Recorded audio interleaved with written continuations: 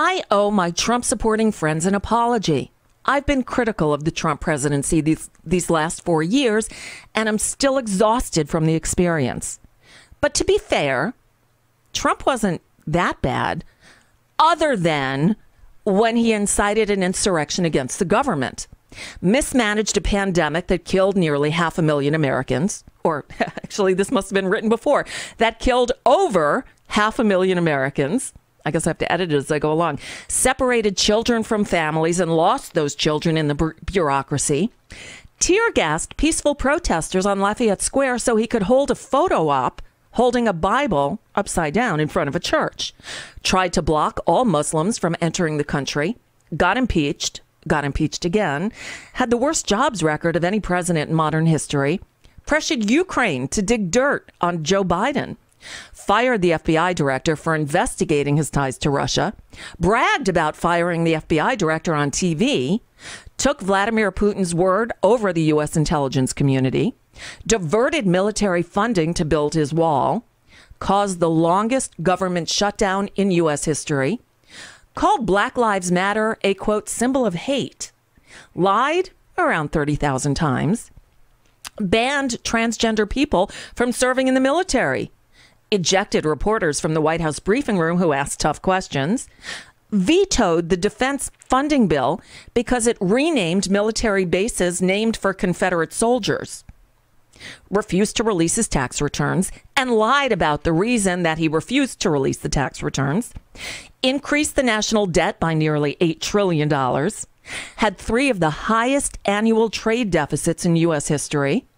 called veterans and soldiers who died in combat losers and suckers, coddled the crown prince of Saudi Arabia after he ordered the execution and dismembering of a U.S. based journalist, refused to concede the 2020 election after he lost decidedly, hired his unqualified daughter and son in law to work in the White House, walked out on an interview with Lesley Stahl, called neo Nazis, quote, very fine people suggested that people should inject bleach into their bodies to fight COVID, abandoned our allies, the Kurds, to Turkey, pushed through massive tax cuts for the wealthiest, but balked at helping working Americans, incited anti lockdown protesters in several states at the height of the pandemic. Withdrew from the Paris Climate Accords, withdrew from the U.S. withdrew the U.S. from the Iranian nuclear deal, insulted his own cabinet members on Twitter, pushed the leader of Montenegro out of the way during a photo op. Remember that? Failed to reiterate U.S. commitment to defending NATO allies. He called Haiti and African nations shithole countries, called the city of Baltimore the quote, worst in the nation. He claimed that he single handedly brought back the, the phrase Merry Christmas, even though it hadn't gone anywhere. He forced his cabinet members to praise him publicly like some cult leader. Come on, you remember those cabinet meetings where they'd go around the table, right? He believed he should be awarded the Nobel Peace Prize, and he badmouthed 16 year old Greta Thunberg when she was awarded the Nobel Peace Prize. He berated and belittled his hand picked attorney general when he rightfully recused himself from the Russia probe, suggested the United States should buy Greenland he colluded with Mitch, with Mitch McConnell to push through federal judges and two Supreme Court justices after supporting efforts to prevent his predecessor from appointing any judges. He repeatedly called the media, quote, enemies of the people. He claimed that if we tested fewer people for COVID, we'd have fewer cases. Oh, yeah. Violated the, uh, violated the emoluments clause, thought Nambia was a country, told Bob Woodward in private that the coronavirus was a big deal, but then downplayed it in public because he didn't want to. Um, uh, what did he say? He didn't want to panic people. He called his exceedingly faithful vice president a quote, pussy for following the Constitution. Nearly got us into a war with Iran after threatening them by tweet. Nominated a corrupt head of the EPA nominated a corrupt head of Health and Human Services, nominated a corrupt head of the Interior Department, nominated a corrupt head of the USDA. He praised dictators and authoritarians around the world while criticizing allies. He refused to allow the presidential transition to begin. He insulted war hero John McCain even after his death. He spent an obscene amount of time playing golf after criticizing Barack Obama for playing a lot less golf while president. He falsely claimed that he won the 2016 popular vote. Um, he called the Muslim mayor of London a quote, stone cold loser. He falsely claimed that he turned down being Times Man of the Year. And yet he still doesn't understand that Times Person of the Year is not an honor. He considered firing special counsel Robert Mueller on several occasions. He mocked wearing face masks to guard against transmitting COVID. He locked Congress out of its constitutional duty to confirm cabinet officials by naming acting ones. He used a racist dog whistle by calling COVID the China virus. He hired and associated with numerous shady figures that were eventually convicted of federal offenses, including his own campaign manager and national security advisor. He pardoned several of his shady associates. He gave the goddamn Presidential Medal of Freedom to two congressmen who amplified his batshit crazy conspiracy theories. Got into a telephone fight with the leader of Australia right after taking office. Remember, remember that? It was his first call with a foreign leader, and he insulted them. Him. He had a Secretary of State who called him a moron, actually called him a fucking moron. He forced his press secretary to claim without merit that his was the largest inauguration crowd in history. He botched the COVID vaccine rollout. He tweeted so much dangerous propaganda that Twitter eventually banned him. He charged the Secret Service jacked up rates at his properties. Actually, we paid for them constantly interrupted Joe Biden in their presidential debate, actually the first one and others, claimed that COVID would magically disappear, called a U.S. Senator Pocahontas, used his Twitter account to blast Nordstrom when it stopped selling Ivanka's merchandise. He opened up millions of pristine federal lands to development got into a losing tariff war with China that forced U.S. taxpayers to bail out farmers, then claimed that his losing tariff war was a win for the U.S. He ignored or didn't even take part in daily intelligence briefings, blew off honoring American war dead in France because it was raining. It might mess up his hair. Uh, he got played by Kim Jong un in his love letters, threatened to go after social media companies in clear violation of the Constitution. He botched the response to Hurricane Maria in Puerto Rico and then threw paper towels at Puerto Ricans when he finally visited them pressure the governor and secretary of state of Georgia to, quote, find him the votes. He thought that the Virgin Islands had a president. He drew on a map with a sharpie to justify his inaccurate tweet that Alabama was threatened by a hurricane. He allowed White House staff to use personal email accounts for official business after blasting Hillary Clinton for doing the same thing. Rolled back regulations that protected the public from mercury and asbestos then pushed regulators to waste time studying snake oil remedies for COVID. Hydroxychloroquine, anyone?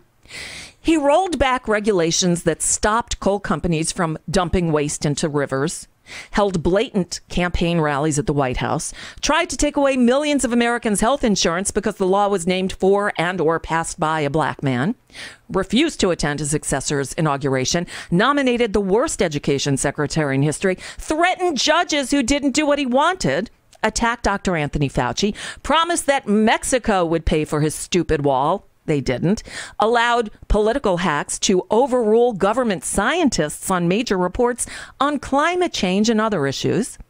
He struggled navigating a ramp after claiming his opponent was feeble, called an African American congresswoman low IQ, threatened to withhold federal aid from states and cities with Democratic leaders, went ahead with rallies filled with maskless supporters in the middle of a pandemic claimed that legitimate investigations of his wrongdoing were, quote, witch hunts, claimed, uh, seemed to demonstrate a belief that there were airports during the American Revolution. He did. Demanded total loyalty from the FBI director, praised a conspiracy theory that Democrats are satanic pedophiles. He completely gutted the voice of America, placed a political hack in charge of the, the U.S. Postal Service, claimed without evidence that the Obama administration bugged Trump Tower, suggested that the U.S. should allow more people from places like Norway into the country, suggested that COVID wasn't that bad because he recovered with the help of top of top government doctors and treatments not available to the general public. He overturned energy conservation standards that even the industry industry supported. He reduced the number of refugees the US will accept. Insulted various members of Congress and the media with infantile nicknames, gave hate monger Rush Limbaugh a Presidential Medal of Freedom at the State of the Union address. He named as head of federal personnel a 29 year old who'd previously been fired from the White House for allegations of financial improprieties. He eliminated the White House Office of Pandemic Response. He used soldiers as campaign props. He fired any advisor who made the mistake of disagreeing with him. He demanded demanded the Pentagon throw him a Soviet-style military parade. He hired a shit ton of white nationalists, politicized the civil service, did absolutely nothing after Russia hacked the U.S. government, falsely said the Boy Scouts called him to say that his bizarre jamboree speech was the best speech ever given to the Scouts. Uh, no. He claimed that black people would overrun the suburbs if Biden won insulted reporters of color, insulted women reporters, insulted women reporters of color, suggested he was fine with China's, China's oppression of the Uyghurs. He attacked the Supreme Court when it ruled against him. He summoned Pennsylvania state legislative leaders to the White House to pressure them to overturn the election. Spent countless hours every day watching Fox News, refused to allow his administration to comply with congressional subpoenas. He hired goddamn Rudy Giuliani as his lawyer. He tried to punish Amazon because the Jeff Bezos owned Washington Post wrote negative stories about him. He acted as if the Attorney General of the United States was his personal attorney. He attempted to get the federal government to defend him in a libel lawsuit from a woman who accused him of rape. He held private meetings with Vladimir Putin without staff present, didn't disclose his private meetings with Putin so that the U.S. had to find out through Russian media. He stopped holding press briefings for months at a time, ordered U.S. companies to leave China, even though he has no such power.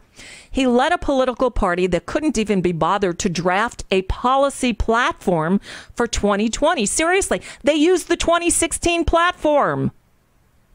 He claimed preposterously that Article 1 of the Constitution gave him absolute powers, tried to pressure the UK to hold the British Open at his golf course, he suggested that the government nuke hurricanes, that wind turbines cause cancer, and that he had a special aptitude for science because he has a relative who went to MIT. He fired the head of election cybersecurity for saying that the 2020 election was secure.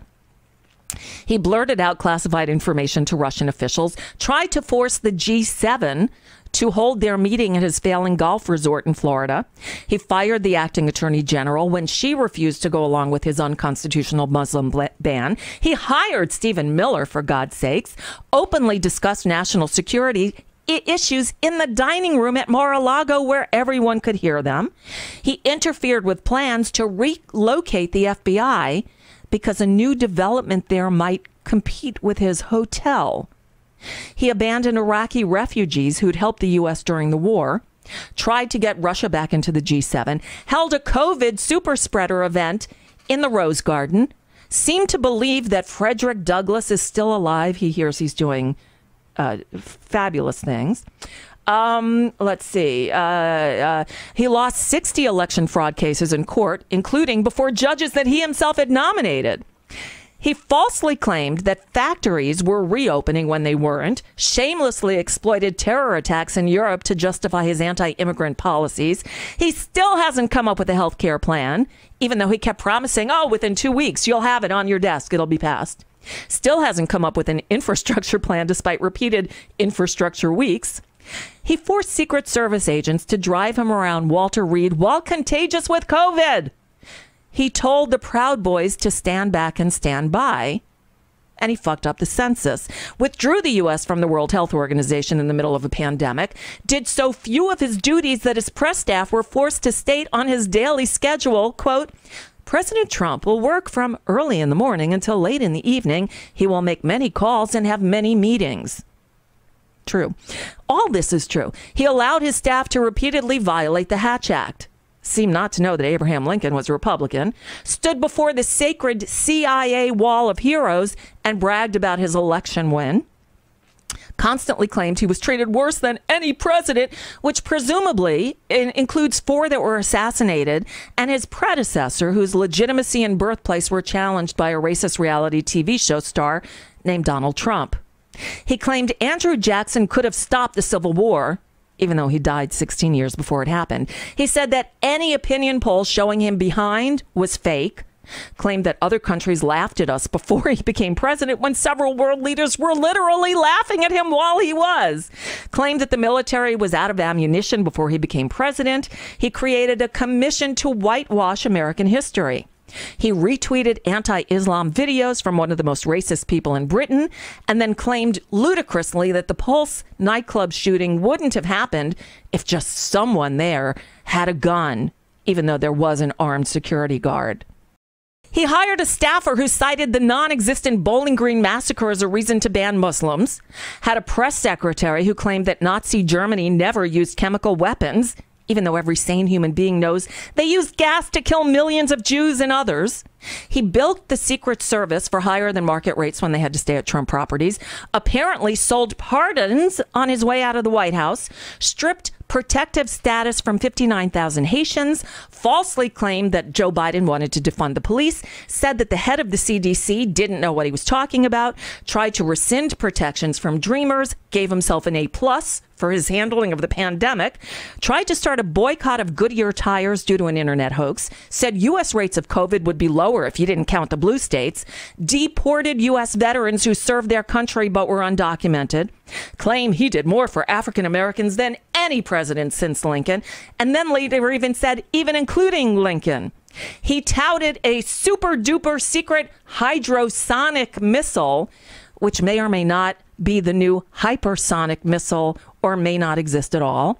He retweeted a GIF calling Biden a pedophile, forced through security clearances for his family, suggested that police officers should rush up, rough up suspects, suggested that Joe Biden was on performance enhancing drugs. He tried to stop transgendered students from being able to use school bathrooms in line with their with their gender. Suggested that the U.S. not accept COVID patients from a cruise ship at the at the start of this a year ago because it would make the U.S. numbers look higher. He nominated a climate change skeptic to chair the committee advising the White House on environmental policy. Retweeted a video doctored to look like Biden had played a song called Fuck the Police at a campaign event. He hugged a, disturbing, a disturbingly large number of U.S. flags, accused Democrats of treason for not applauding his State of the Union address. He claimed that the FBI failed to capture the Parkland school shooter because they were, quote, spending too much time on Russia.